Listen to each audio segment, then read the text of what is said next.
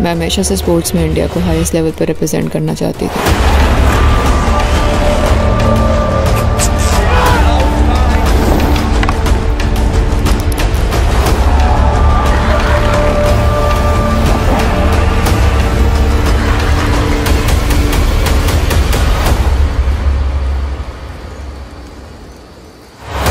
life में गोल होगा